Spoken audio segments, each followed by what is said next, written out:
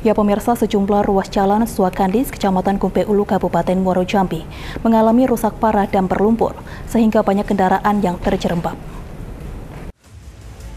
Seperti inilah kondisi jalan lintas Wakandis, Kecamatan Kumpeh Ulu, Muaro Jambi, yang mengalami rusak parah dan berlumpur. Hal ini dikarenakan tingginya intensitas hujan beberapa waktu terakhir.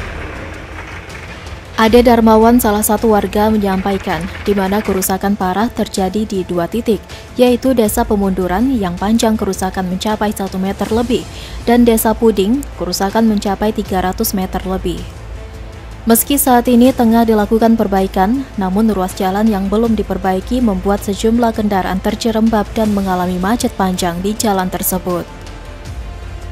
Novia Putri Sanjaya, Cek TV, melaporkan.